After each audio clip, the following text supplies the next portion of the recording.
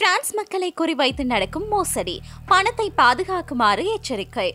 பிரான்சில் தொலைபேசி பயனாளர்களை குறிவைத்து புதிய மோசடி சம்பவங்கள் அதிகரித்து வருவதாக கண்டுபிடிக்கப்பட்டுள்ளது. தொலைபேசிக்கு திடீரென வரும் அழைப்பிற்கு வீட்டில் உள்ளவர்கள் பதில் அளித்தவுடன் தொலைபேசி இயக்குநர்கள் அழைப்பேற்படுத்துவதாக மோசடியாளர்கள் கூறுவார்கள். தொலைபேசி இணைப்பு உரிய முறையில் வேலை செய்கின்றதா என சோதனையிடுவதற்காக அழைப்பேற்படுத்துவதாக மோசடியாளர்கள் குறிப்பிட்டுள்ளனர். பழுது பார்க்கும் பணிகள் செய்யப்படும் போது அழைப்பு துண்டிக்கப்படாமல் இருப்பதை உறுதி செய்வதற்காக அழைப்பேற்படுத்தியதாக தெரிவிக்கப்படுகின்றது. எனவே தடையின்றி அழைப்பு பெறுவதற்காக தாங்கள் வழங்கும் இலக்கத்திற்கு மீளவும் அழைப்பேற்படுத்துமாறும் அந்த அழைப்பு முற்றிலும் இலவசம் எனவும் குறிப்பிட்டுள்ளனர்.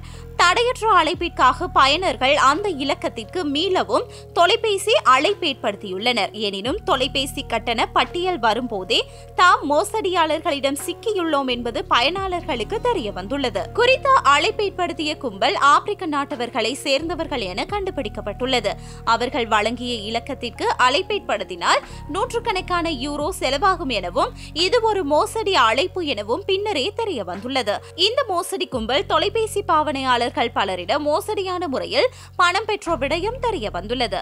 பிரான்ஸ் மக்கள் இவ்வாறான மோசடியாளர்களிடம் சிக்கி நூற்றுக்கணக்கான யூரோ பணத்தை இழக்க வேண்டாம் என கேட்டுக் கொள்ளப்பட்டுள்ளது.